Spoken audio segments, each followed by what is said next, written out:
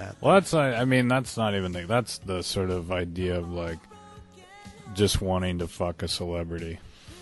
True. That's when you Affleck get- has had that quite a bit. That's when you get the mojo where it's like people are just like, you know, they just want to be able to, you know, like skydiving. You What- know, what's the something you want to knock off your list before you die. It's Yeah, like right. you want It's to bang. Like I banged that guy. I, I, didn't I know wanna he's just banging jump an out accountant. Of a plane, or I want to fuck the dude who was in Armageddon. Yeah. The younger dude, not Bruce Willis.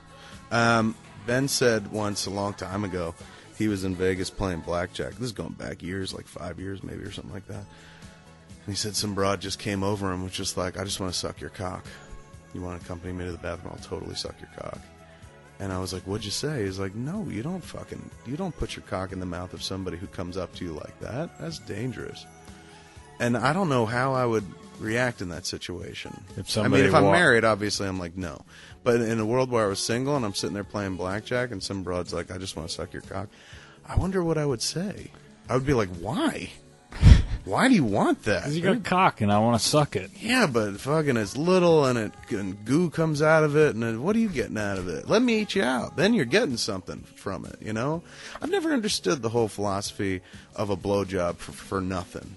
I mean, I understand the philosophy of paying for a blowjob, although I've never done it. But the the the whole notion of like a chick who is willing to just suck a cock and like that's good enough. Like to me, that's Well, uh, foreplay. Sucking cock is leading to something, or it's like I'll suck yours if you suck mine. Like you know, if I was a chick, I wouldn't be giving out free blowjobs. I'd be like, look, first you eat me out, then I'll fucking blow you.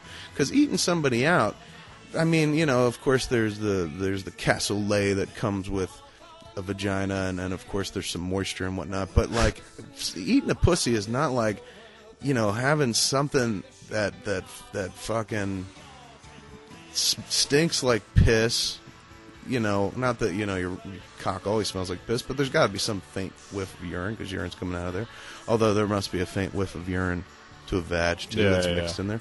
But like, it's it's just got to be an unpleasant experience because at the end of it, it culminates with somebody, you know, s- essentially dick wad. sneezing into your mouth. Yeah, it's, you know, it, it would be like a kiss culminating with somebody being like into the back of your throat. Yeah, like you're kissing and you're exchanging some spit, but it's not. It's just the you know the spit that's in your mouth, saliva that's in your mouth.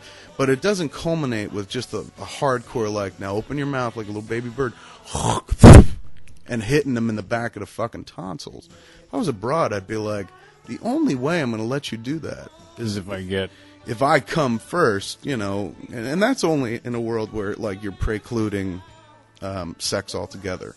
like you know, it's you can just oral. It's, It's all just- oral sex. yeah, yeah, totally. No it's not going to lead to like some penetration. Although you know, cock in the mouth is penetration. Sure.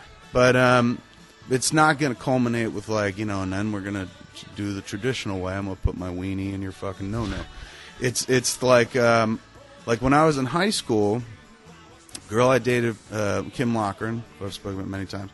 We didn't have sex for like two years. You know, we were like, let's save it Oral and whatnot. we were Catholic. It was very oral and whatnot, oral based relationship.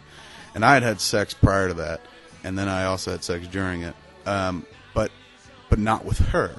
And we waited until we were two years dating before we actually kind of crossed that that bridge. And so uh, our entire sexual relationship was based on the mutual exchange of, of oral oral pleasures. oral pleasures, gratification, and whatnot.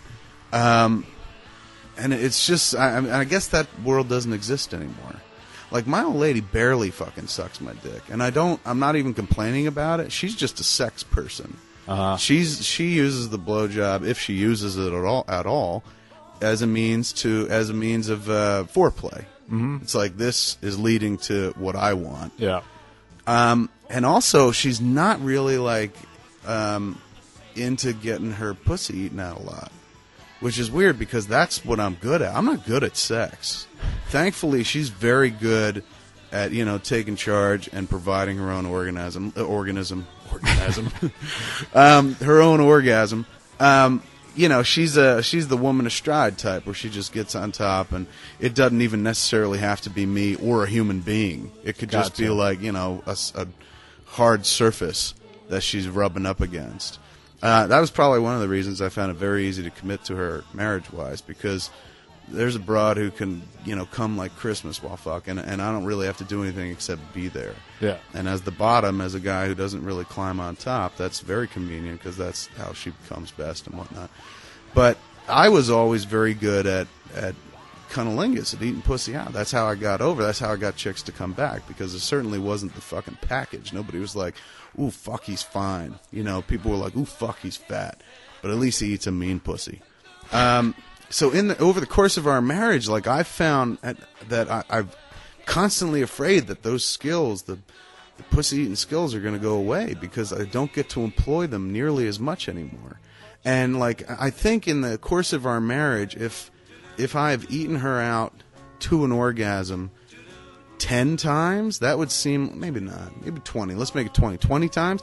That would seem like a lot because anytime I'm going at it and whatnot, I get the tap and not the tap and the like you're doing it wrong come up. She just like she's like I don't want to come that way, and you know sometimes I'll have to like fucking fight it to get to it. Like I want you to come as well, but um, she don't, and that and that's kind of you know creepy when you're forcing your wife's orgasm on her Yeah, the way yeah, you yeah. would prefer rather than her. But you know sometimes I'm just like, look, let me do this because I'm. My thing. This is my thing. This is the only thing I'm good at. You know, it's like it. It would be like hiring me to make a movie, and they're like, "You got to make, um, you know, a really serious, staid motion picture with no dialogue, a dramatic silent film." I'd be like, "Well, let me make jokes where people are talking all the time. That's what I'm, I'm kind of good at. What you got?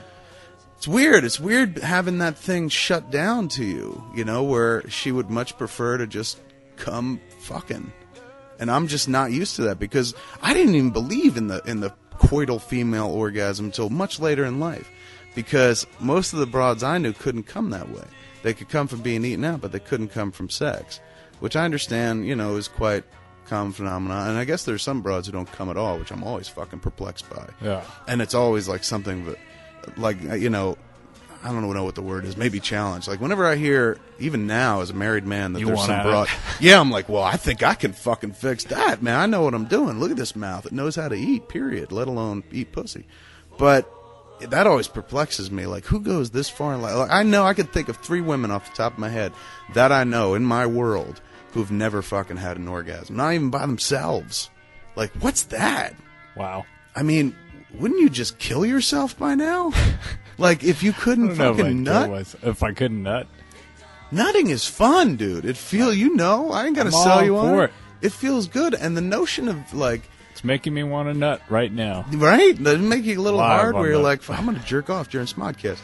Um, the just the could you imagine like having sex and not coming ever? Uh, I wouldn't. I wouldn't What's the like that. Like, why would you go through it? I'd be like, fuck it, doesn't work for me. I'm never gonna have sex. I'm just gonna drink a lot, or do a lot of blow, or eat a lot, or watch a lot of TV, whatever it is that gives me pleasure. Because obviously, sex doesn't do it. I'll never understand those women who just can't fucking, who don't know how to, who don't come. And I, I you know, I, it certainly helps to have a dude that's kind of vaguely interested in making you come. Yeah. So if that's the problem, then fucking stay away from those losers, you know. But you know, the female orgas- orgasm is also very much resp- the woman's responsible for her own or- orgasm. Yeah. it's not a purely mechanical thing like it is with men, where it's just like, just fucking stick it somewhere and Yeah, move yeah, yeah. something on it, like A fast or microwave slow. cantaloupe. Totally. It's just like, and doesn't I'm gonna matter. fucking nut. But um, you know, with women, it's a psychological thing, and they got to be buried in. And with men, somewhat too. It's like you know, I could sit there and not come for a long time. I'm I'm good at holding out, and as and and if I'm not focused, like if I'm thinking about like Shecky's gonna jump on the bed and fucking burrow into my asshole, then I can't come. Like I can't. Certain things I need right in the room before I can get comfortable and bust a nut. One is like I want the curtains closed. Uh huh. Um, two is I want the dogs that well, especially that little dog. The older dogs don't care. You know, Yeah. they're just like whatever. They're doing that horrible thing to one another again, Yeah, yeah, and it just means we're not getting fed for at least twenty minutes. yeah. But the little dog is just too curious, and, and so I now that's a new thing where I'm like I could get the little dog free range it, put it outside our bedroom door, let it free range around the house. Um, so I need definitely there are some mood setting, you know, activities that I need. Curtains closed is a big deal. Yeah. Um, don't try to take my shirt off. That's another big deal. Thankfully, you know, after I've been with Jen for so many years, she's not the chick that's like Take in the movies. Yeah, where you're making out and she's trying to pull your shirt over your head because that's when I'm I'll lose a fucking heart on like crazy.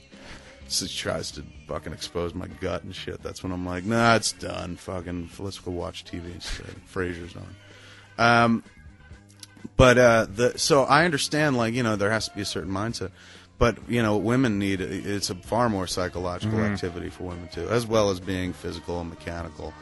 Uh, for some chicks, it's just not as easy as rubbing uh, rubbing up against a harder surface, Yeah, yeah. or you know, resistance against a fucking clitoris to make them come.